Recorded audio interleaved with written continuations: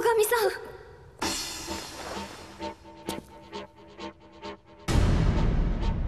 んやめてください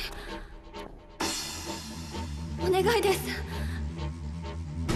彼女は被害者で。対象の脅威判定が更新されました執行モードリーサルエリミネーター慎重に照準を定め対象を排除してください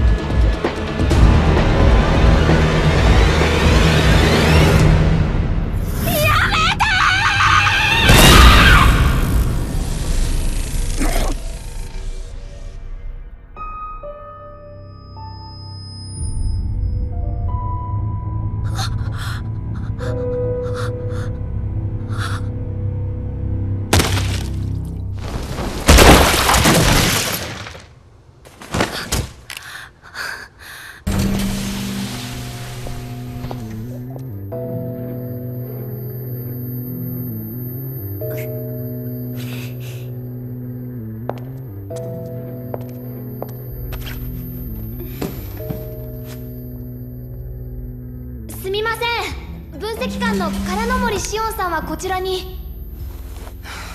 はいはい。どちら様？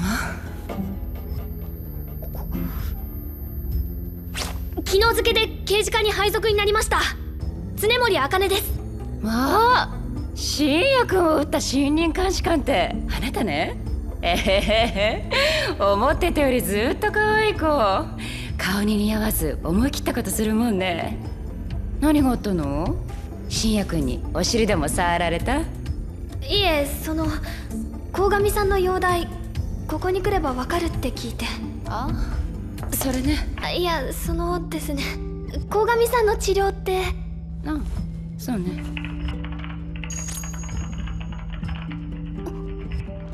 まあ脊髄にいい感じに直撃かましてくれたからね。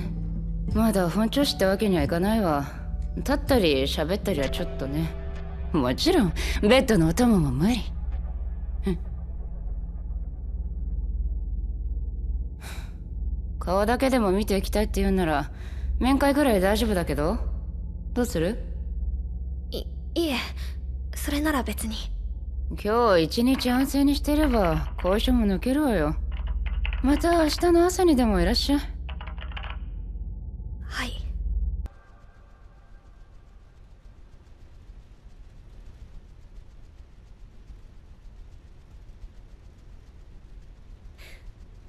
すみませんでした。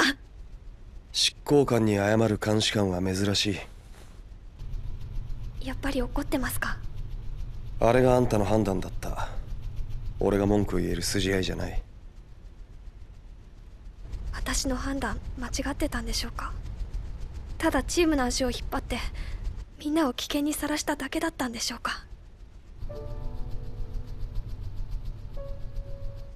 もう長いこと執行官をやっている迷うことなく疑うことなく命じられたままに獲物を仕留める猟犬の習性が俺の手には染みついちまってる。あの銃の言いなりになって何人もの潜在犯を撃ってきた。それがこの社会のためになると小綺麗な理屈を鵜呑みにしていつの間にか考えることさえなくなった。自分がやってることが何なのか顧みることさえ忘れていた。バカな話だ。デカってのは誰かを刈り取る仕事じゃなくて誰かを守る仕事だったはずなのにな。鴻上さん。あんたは何が正しいかを自分で判断した。役目より正義を優先できた。そういう上司の下なら俺はただの犬ではなくデカとして働けるかもしれない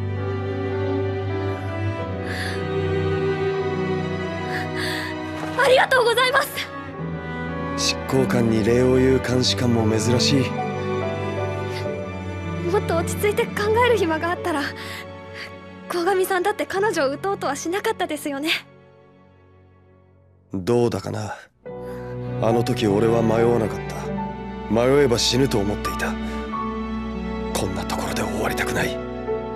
絶対に死ぬわけにはいかないそれだけで頭がいっぱいだった。俺にはやり残したことがある。どうあっても始末をつけなきゃならない役目が。鴻上さ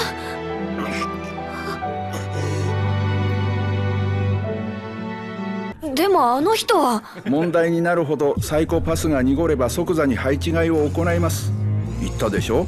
メンタル管理には十分配慮していると彼は彼で役に立っている。ああいう役回りがふさわしいからこそシビラにこの職場を進められたんじゃないですかね。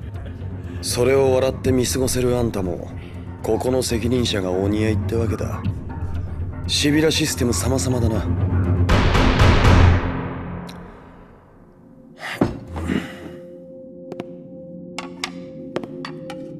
大丈夫か？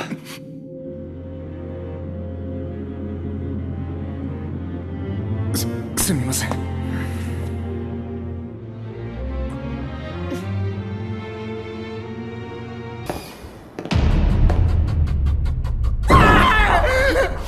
んなところにいたのか君と野郎。人殺しの後の飯はうまいか。え？えどうなんだ？塩山も浅見も郡山も貴様が殺した。そうだな。そんな貴様がここに閉じこもってる限り犯罪は立証できない。だがな俺は貴様が嫌いだ。俺たち執行官はな他の潜在犯をいたぶるのが好きなんだ。だから貴様がどこにも逃げ出せないようこの工場に釘付けにしてやる。もっと急いで手遅れになる。んなことは分かってるってのここだ。もう現行犯なんだから。応援を要請して。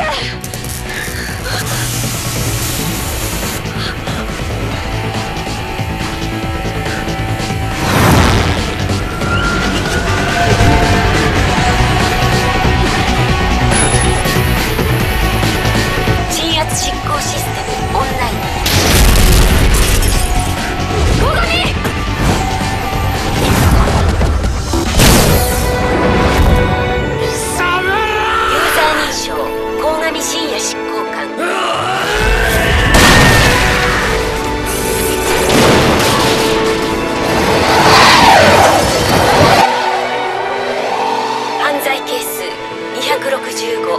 行対象です。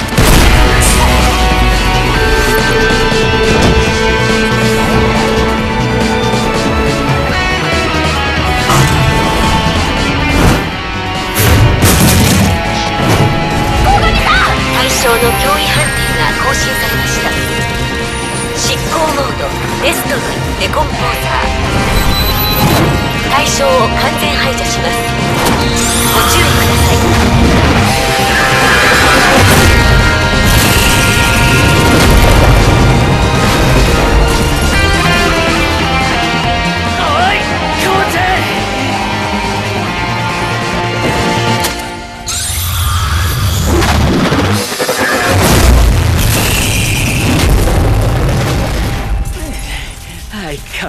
変わらずしびれるね。ドミネーターの本気は。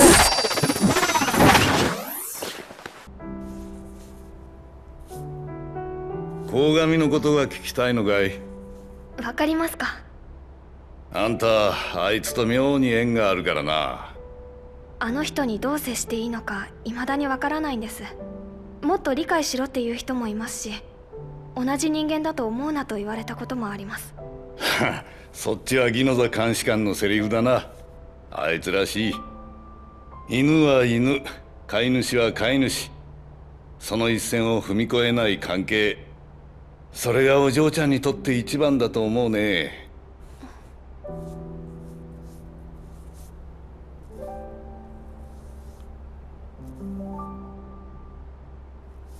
鴻上を理解するってのはな鴻上のようにものを見て鴻上のように考えるってことだ。それができるようになったとしたらその時あんたのサイコパスは鴻上と同じ数字を叩き出してることだろうよ。深淵を覗く時深淵もまたこちらを覗いている。鴻上はな闇を見つめすぎたんだ。そして今でもまだ見つめ続けてる。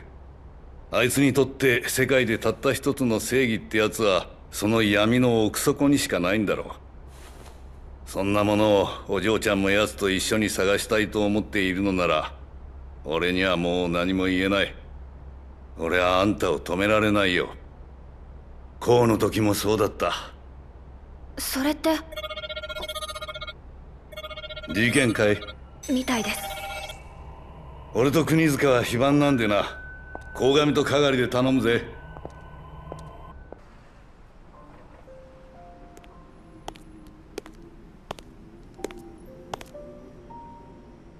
今回君は十分よくやった。結局犯人を突き止めたのは鴻上さんでした。あんな風に犯人の思考を把握し予想するなんて。それが執行官だ犯罪者と同じ心理傾向を持っているからこそできることだ。でも鴻上さんは私のことを慰めてくれました。励ましてくれました。あの人が潜在犯だとしても御堂みたいな殺人鬼と同じ心の持ち主だなんて思えません。監視官は監視官としての役目だけを果たせ。執行官とは一線を引け。それがこの仕事の鉄則ですか？いや俺の経験則だ。かつて俺は過ちを犯した相棒を失った。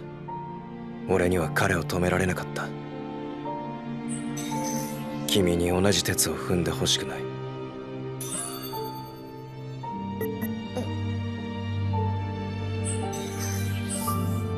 人事課のファイルだ。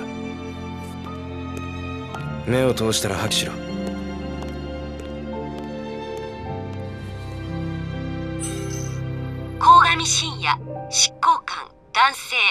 歳。元監視官。未解決事件。公安局。広域重要指定事件。102の捜査中。犯罪係数が急激に上昇。セラピーによる治療よりも捜査の遂行を優先。犯罪係数が規定値を逸脱し執行官に降格。でもさなんでデータベースで調べないわけ？監視官のは権限あるっしょ。ファイル閲覧したら鴻上さんにバレちゃうじゃない。バレちゃまずいわけ？つうかそんなにこうちゃんのことが気がかりなのかい？それって恋？かがりくんって恋したことあるの？あのねあかねちゃん。俺ってば人生の先輩よ。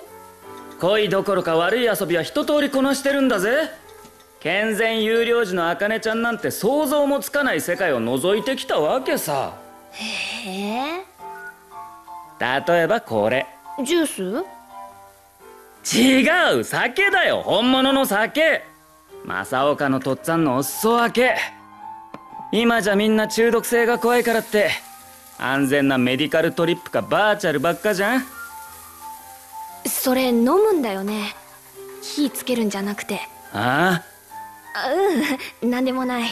あまあこういういけないお楽しみも今じゃ俺らの特権ってわけ。うわ美味しい。これが本物の料理ってもんさ。こらこら酒のつまみだって言っただろ。ケチ。それともあかねちゃん試してみる？え俺も酔ったら口が軽くなって喋っちゃうかもよ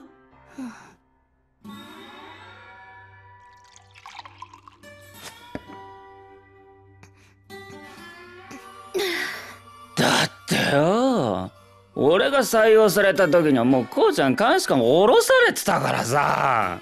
詳しいことはよくわかんねえし。なんかその時こうちゃんの部下だった執行官が殺されちまったって話だけど。殺された？そう。犯人追っかけてたはずが逆に犠牲者になっちゃったのさ。確か笹山とか言ったっけか。他の被害者と同じ手口でそりゃもうひどいもんだったらしいよそれでこうちゃんおかしくなって犯罪係数ぶっちぎっちゃって。あの事件迷宮入りって話だけど未だにこうちゃん調べ続けてるらしいよ。そうなんだ。つっかさあかねちゃんなんでそんな酒強いわけ？いやかがりくんが弱すぎ。笹山執行官ああそりゃ忘れられるわけないわ標本事件は。標本事件？私らや現場じゃそう呼んでたんだけどね。あかねちゃんプラスティネーションってわかる？生体標本の作成方法でしたよね。さあ死体に樹脂を浸透させて保存可能な標本にする技術。あれを活用した猟奇殺人だったのよバラバラに切り開いた遺体をプラスティネーションで標本にしてそいつを街のど真ん中に飾り付けてくれたわけよ。盛り場を飾るホログラフイルミネーションの裏側にね。ひどい。何千人という通行人が環境フォロを眺めているつもりで実はその下に隠れてるバラバラ死体とご対面してたっていう。バレた時のエリアストレスは4レベルも跳ね上がってね。報道管制まで敷かれたほどよ。あの食事中にすみません。ん？何が？弥生はこの程度じゃ燃えないわ。もっと激しくて情熱的なのがお好みよ。えっと。今は標本事件の話でしょ？続きは？まあ明らかに専門家の仕業だったからね捜査の焦点も薬学科学のエキスパートに絞り込まれていったんだけどその途中で笹山くんがね結局全然別件で捜索願いの出てた高校教師のアパートからプラスティネーションの樹脂が見つかってね。あほらこいつトーマー幸三郎。こいつが失踪した途端に犯行も止まったしまあ間違いなく黒だったはずなんだけど状況証拠だけだしね。まあ実際のところは迷宮入り。それにトーマには科学の素養なんてなかったから問題の樹脂を誰が調合したのかそれさえも謎のまま。共犯者がいたってことですか？そもそも用途を承知の上で樹脂を作ったのかどうかそれすらもわからないんじゃ共犯と呼んでいいのやら？入手経路も謎のままだし今となっては神のみぞ知るよね。とっつぁんも職員の定期検診記録だけで金原に的を絞ったんだ。同じ真似をできる奴がいた。あの診断記録は部外費だったわけじゃない。じゃあそいつが御堂を手伝った動機は？動機は金原と御堂にあった。奴はきっとそれだけで十分だったんだ。鴻上。殺意と手段。本来揃うはずのなかった二つを組み合わせ新たに犯罪を創造する。それが奴の目的だ。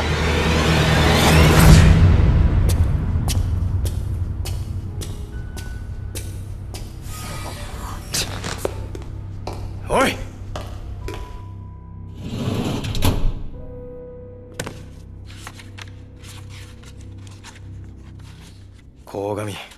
前は技能あの事件と同じだ。ただ殺意を持て余していただけの人間に手段を与え本当の殺人犯に仕立て上げてる奴がいる。落ち着いて考えろ。あの時は特殊樹脂だが今度はプログラムのクラッキングツールだ。全然違う。技術屋と終戦人がまた別なんだ。人を殺したがっている者とそのための道具を作れる者とを引き合わせている奴がいる。そいつが本当の黒幕だ。いい加減にしろ。お前はいるかどうかもわからない。幽霊を追いかけているんだ。笹山は突き止める寸前まで行った。あいつの無念を晴らす。そのための3年間だった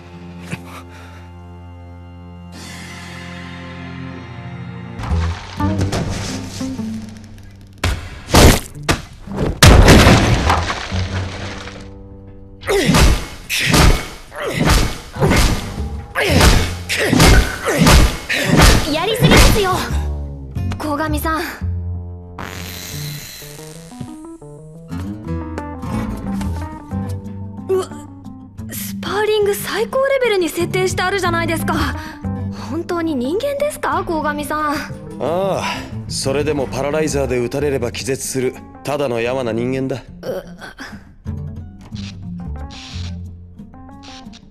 後で絶対に管財課から怒られますよ。ダサすぎんだよこのシステムが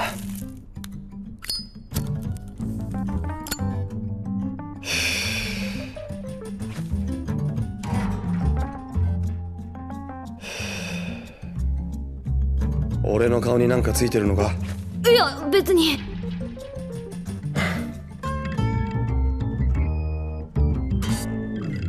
ドミネーターほど強力な武器が支給されるのにここまで過剰な戦闘訓練が必要なんですか？必要だ。強くて優れた武器を扱うからこそその使い手はより強くタフでなきゃいけない。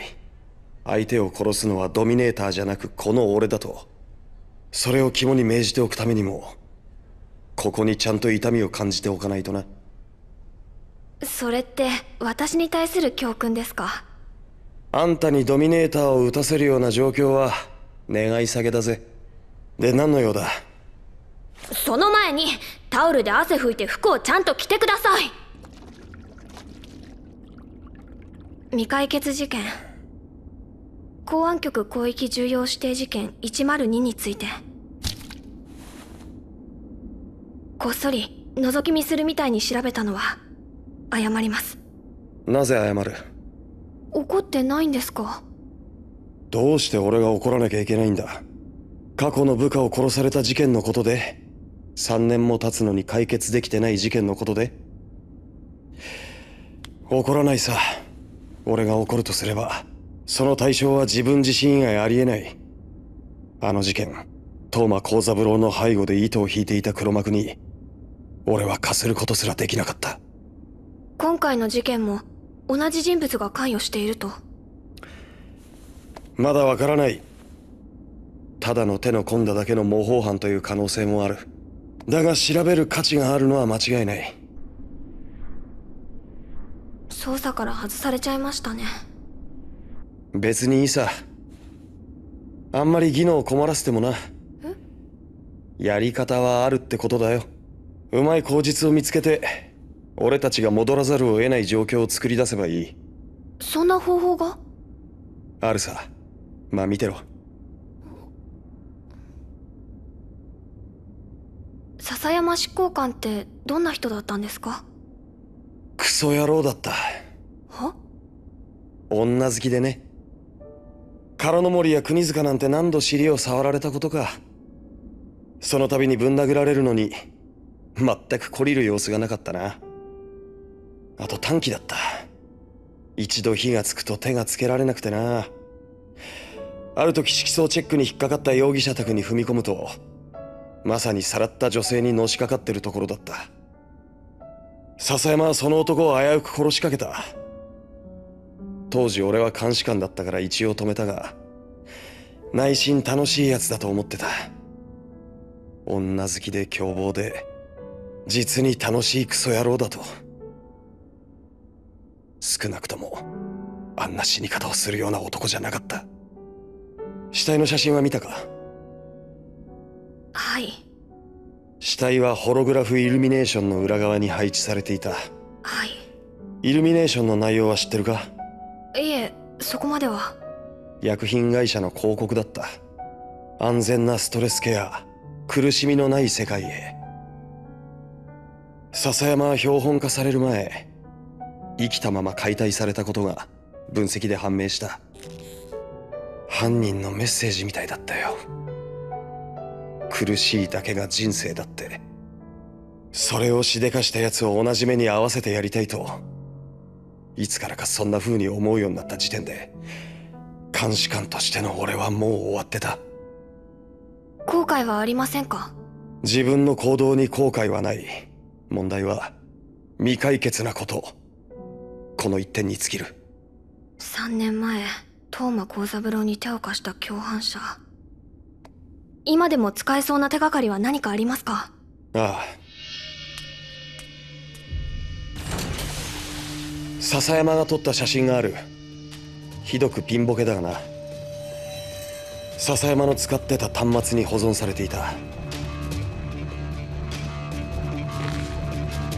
この男名前とかは？画像ファイルのタイトルは牧島だった。やっぱり事件の情報空の森さんの仕業ですねどう思う？あんたも目を通してはいるんだろ？どうって言われても。薬剤の分析結果からも3年前の事件と同一犯の可能性が高まったとしか。俺は全く逆の感想を抱いた。逆？ああ3年前の事件だと例えばこいつだ。犠牲者の一人汚職疑惑のかかった衆院議員でな。犯罪係数の虚偽申告も疑われたが再計測を拒否マスコミや野党の追及を記憶にございませんとかカビの生えた言葉で切り抜けようとした。それが死体で発見された。頭蓋骨がきれいにカットされて脳がすっぽりくり抜かれた状態でな。被害者の肛門には記憶について重要な働きをするとされる脳のパーツ海馬が突っ込まれていた。笹山の殺され方もそうだがあの時の犯人は殺し方や死体の飾り方に何らかの意味合いを持たせようとしている節があった。被害者は4人。死体が発見された場所はホログラフイルミネーションの裏側高級料亭動物園。アイドルがライブ用に組んだステージの真上。しかし今回は2件続けて公演だ。舞台設定に芸がない。ゲーって？今回の2件からは歪んだユーモアやメッセージ性も感じない。美しく悪魔的で芸術作品のようだが何かが致命的に欠けている。何かとは？オリジナリティ。オリジナリティですか？こんな手間をかけた殺しなのに犯人の主張が薄い。少なくとも俺には感じられない。東間幸三郎にとって殺しはただの素材の下準備でしかなかった。そこまでは今回の殺しも共通だ。だがそこから先は死体の作風というかまるで違う。全く別の犯人像が見えてくる。知能が高くシビラ判定では高収入の職業を割り当てられている。しかしかなり若い。もしくは精神年齢が低い人物。死体を性的に侮辱する要素の少ないことから幼児期の虐待は受けていないと推測できる。それは？プロファイリングもどき。監視官外出許可を申請する。えそれって私が同伴しないと。だからついてこいと言ってるんだ。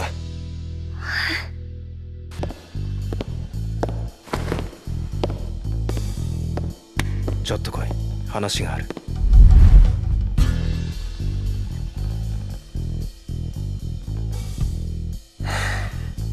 なんだよ。文句があるならはっきり言え。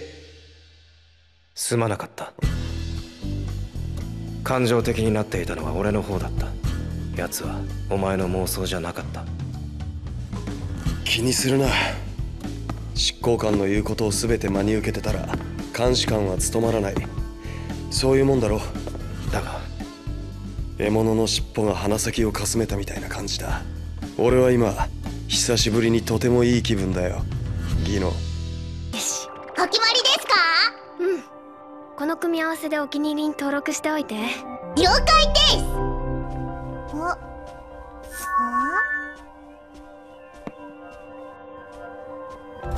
キャーもしかして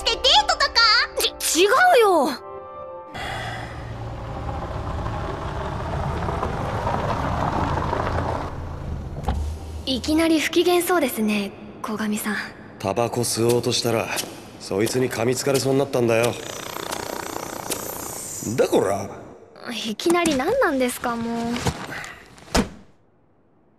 悪いな。あいえ気にしないでください。私も興味があるので。鴻上さんはどう思います？サイボーグ化の不老不死って。興味ないな潜在犯の人生は末永く続けたくなるようなもんじゃない。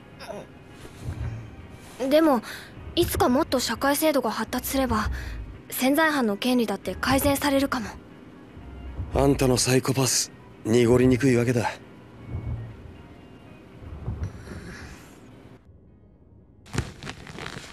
ふん。常森茜監視官。はい。千葉県出身かな？そうですけど。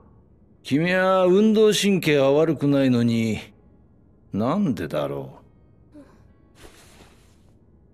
そう。泳げない。両親はまだどちらもご存命。一人娘になかなか恋人ができないのを心配している。えっと？公安局入りにも反対だった。そして祖父か祖母うん祖母だな。可愛がってもらった。かなりのおばあちゃん子だね。幼児期高齢者と長く過ごした人間ほど成長してからホロアバターの人工知能と良好な関係を築くことが多い。そのパターンに常森さんも当てはまっている。あの相変わらずですね雑賀先生。今のどうやったんですか？ただ観察しただけさ人は無意識のうちに様々なサインを発している。コツさえ覚えれば簡単にそのサインを読み取れる。鴻上カリスマ性とは何だい？英雄的支配者的資質という意味で使いましたが。20点かな。カリスマ性には3つの要素がある。英雄的預言者的資質あるいは一緒にいて気持ちがいいというシンプルな空間演出能力そしてあらゆることを雄弁に語るための知性。鴻上が探しているのはどのタイプかな？全ての要素を備えていると考えられます。少しはあんたの役に立ったか？はいとても。すごい先生です。公安局のアーカイブに入ってないのが不思議で仕方ありません。アーカイブ化は無理だな。何かあったんですか？シビラシステムと大学制度が同時に存在していた頃の話だ。公安局捜査官のために雑賀先生の特別講義が設けられていた。だがある時大問題が発覚した。受講生の色相が濁り犯罪係数が上昇したんだ。ま全員じゃないがね。今日のようなマンツーマンの講義なら大丈夫だ。それにあんたは色相が濁りにくいたちだしな。でも講義だけで犯罪係数が上がるなんて。そこが見えない黒い沼がある。沼を調べるためには飛び込むしかない。先生は何度も調査のために潜ったことがあって慣れている。でも全ての生徒が沼に潜って無事に戻ってこれるわけじゃない。能力差や単純に向き不向きもある。鴻上さんは深くまで潜りそうですねそれでもちゃんと帰ってくるいやどうだかな。少なくともシビラシステムは俺が帰ってこられなかったと判断した。結局雑賀教授の受講者名簿は空振りでしたね。仕方がない。だが牧島が生きている人間なら必ずどこかに足跡がある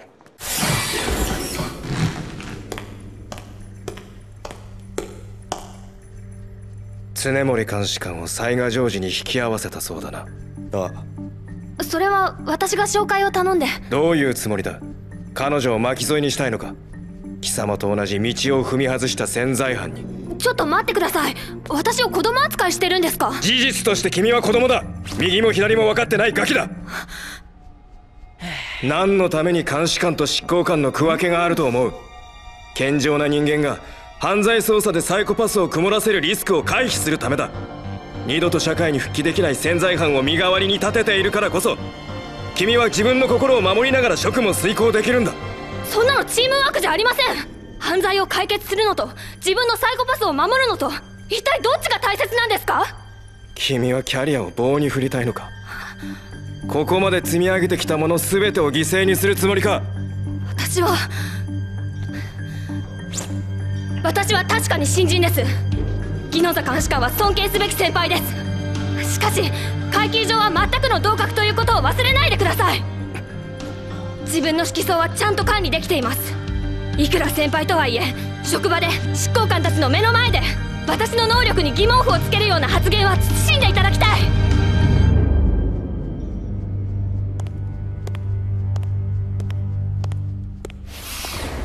あんな言い方。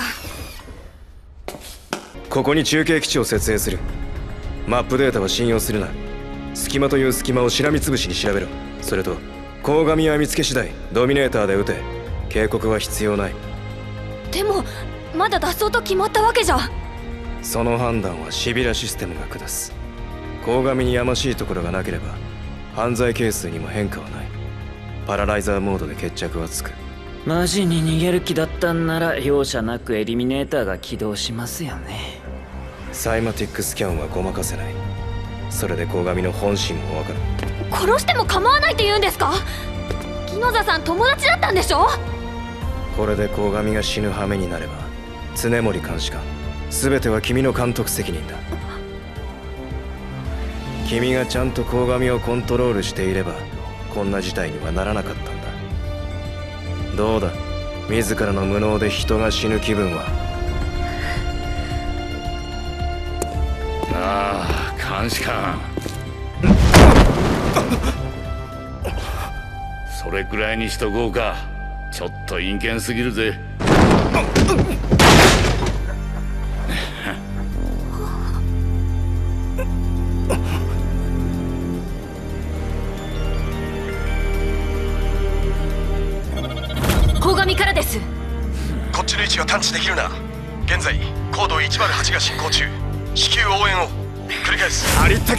急行させろ。でも経路が。手当たり次第に試せ。1台でもいいから到着させるんだ。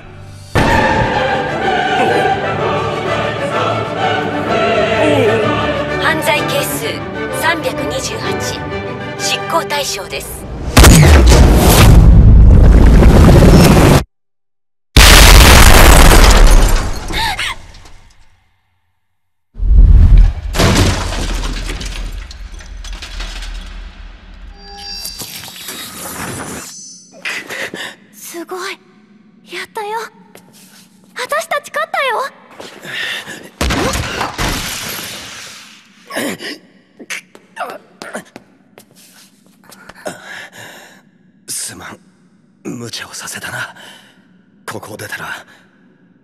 セラピーを受けろ。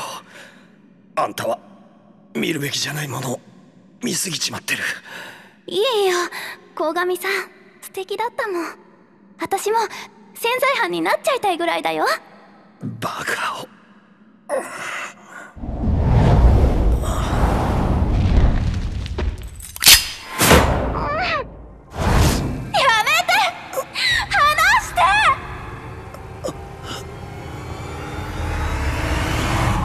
君と語り明かしたいのは山々だが今は具合が悪そうだね。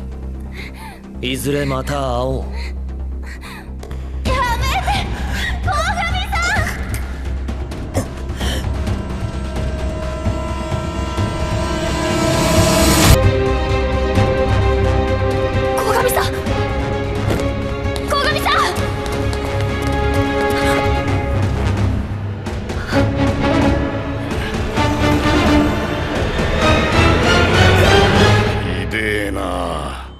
こちにもらってるじゃねえか。嬢ちゃん応急処置は？訓練だけは何度も。でも実際にやったことはなくて。なら俺に任せとけ。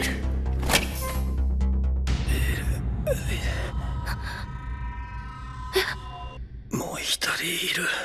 お前のたちを連れてった。動いてろ嬢ちゃん。とにかく血止めなきゃ。あ何考えてるんだ？監視官まだ事件が終わってないんです！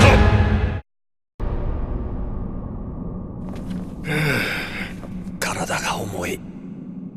自分の体じゃないみたいだ。弾はまだ抜いてねえからな。俺がおっかなびっくりやって太い血管を傷つけたら本当に致命傷だ。搬送後プロにやってもらえ。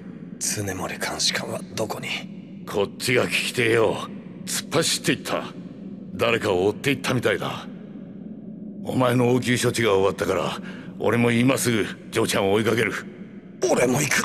お前はアホか。だが。悪いな。重傷だってのに。でもなこれ以上時間の無駄は嫌なんだよ。お前がこんなになるんだ。はっきり言って嬢ちゃんもかなりヤバい。さあ殺す気で狙え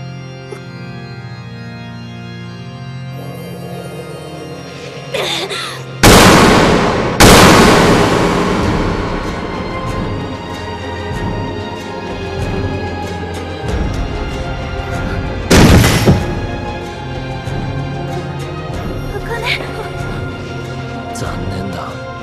とても残念だよ。常森茜監視官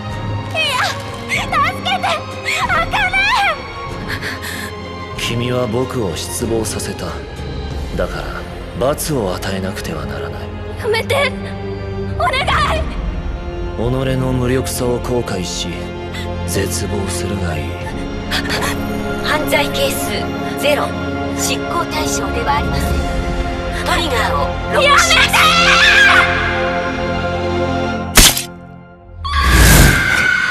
お嬢ちゃん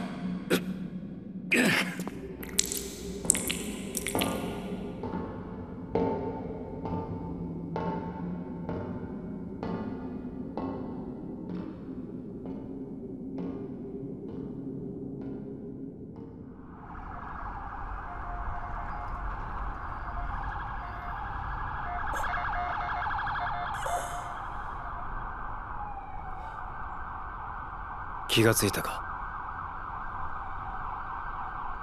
常森監視官は？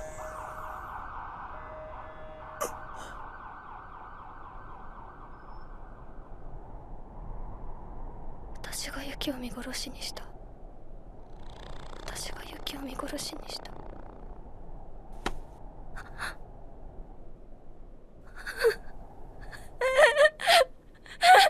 何があったあの男と会いましたあの男牧島省吾はドミネーターで裁けません。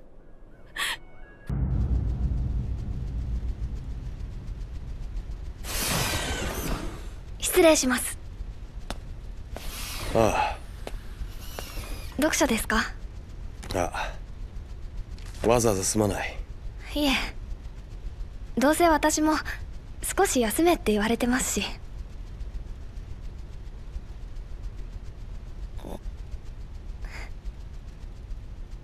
葬儀の方は？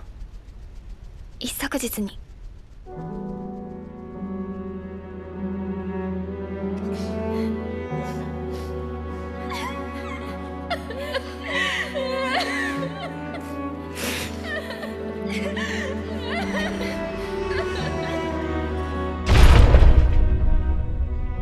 そうか。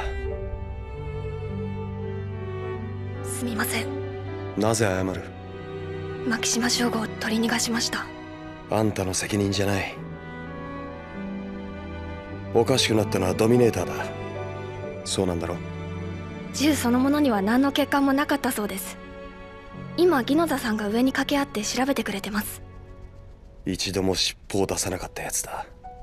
何かからくりがあるのかもしれない。ドミネーターばかりに頼ってきた俺たちをまんまと出し抜くための秘策がいつも通りですね鴻上さん。あんたも思ったより立ち直りが早い。落ち込んでばかりじゃいられません。牧島省吾を捕まえないと。友達の敵ですもんね。私にとっても。鴻上さんにとっても。そうだな。なんだか安心しました。ではお大事に一つだけある意味では嬉しいと思えることもあります。牧島省吾は実在した。もう誰も鴻上さんのことを疑いません。私たちこれでようやく一つの目標を一緒に追いかけられるようになりました。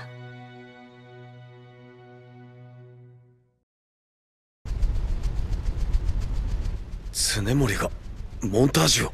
そうメモリースクープだよ記憶にある視覚情報を脳波から直接読み取って映像化するっていう。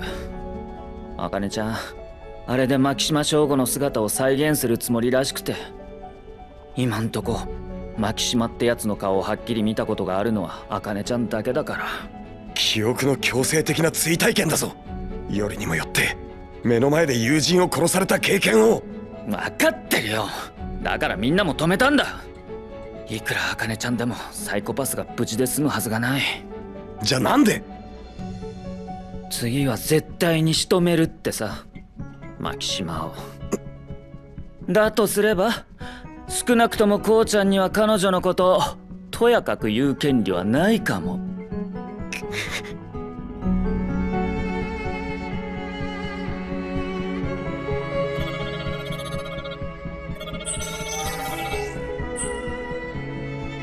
鴻上か？はい。多分かがりくんあたりがチクったんじゃないかと。話さなくていいのか？必要ないです。私を止めるつもりなんですよ。自分は無茶ばっかりするくせに。俺も反対だ。危険すぎる。ただでさえ君のサイコパスはダメージを受けている。最悪の場合は犯罪係数の悪化だって。局長命令で公開捜査はできないんですよねああ何しろデリケートな問題だ。専門のチームが調査している。その結果が出るまで地下で起きたことは他言無用だ。調査の結果を待っていられません。非公開では手がかりは集まりにくい。モンタージュが必要です。しかし。そのために犯罪係数が上がったとしても構いません。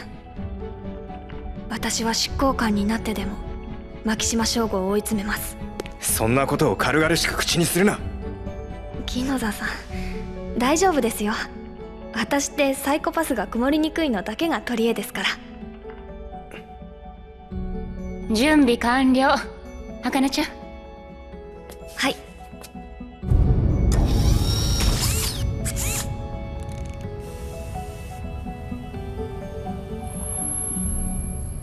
あなたの体調とサイコパスはずっとモニタリングしてるからね。唐野森さんを信用します。オーケーオーケー。お姉さんに任せてね。悪いようにはしないから。犯人と遭遇した時のことをよく思い出して。はい。その記憶に関わる脳内の信号をキャッチしたら増幅します。かなりの精神的な負担が予想されるけど。覚悟の上です。よろしい。始めるわよ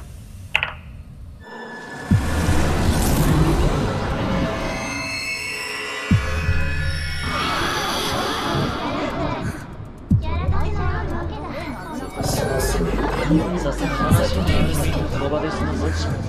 が手にしたその銃ドミネーターを司るシビラシステムが決めるのか犯罪係数48執行対象ではありませんトリガーをロックしますとても残念だよ常森茜監視官執行対象ではありませんトリガーをロックします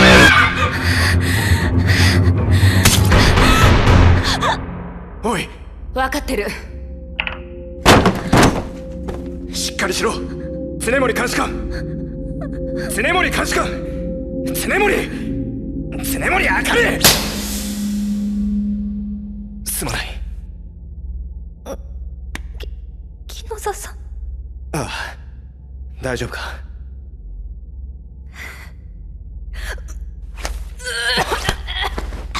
常森メモリースクープは成功。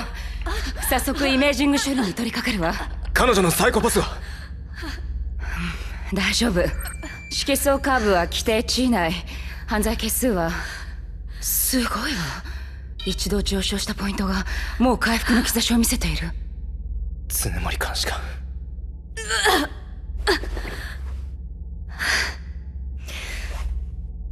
ねえ平気だったでしょ君はそうまでして。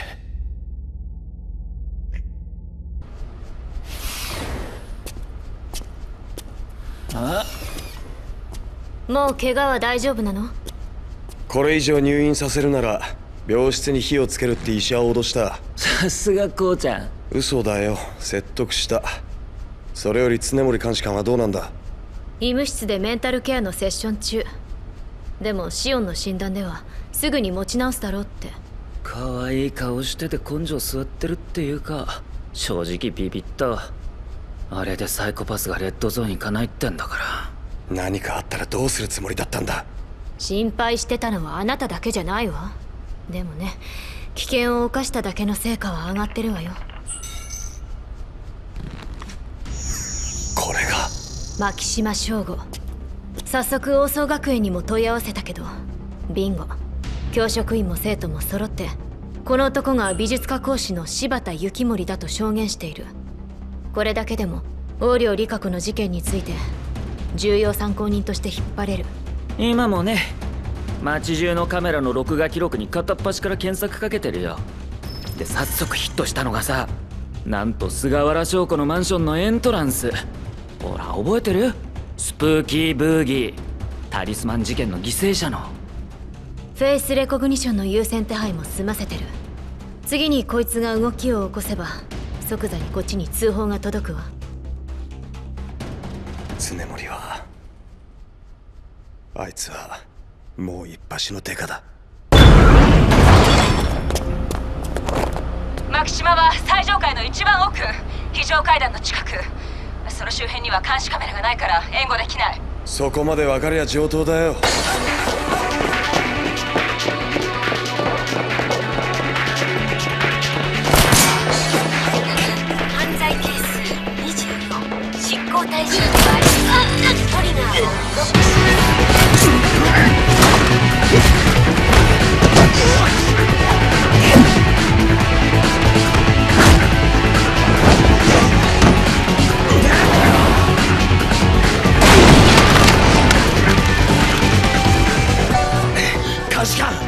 大丈夫。でもなんでドミネーターが？うかつだったぜ。ここには牧島がいる奴のサイコパスがこいつらのヘルメットにコピーされているんだ。ヘルメットかぶり損でしたね。止血したら後を追います。先に行ってください。でもあんたは？牧島を逃がさないで。これは命令です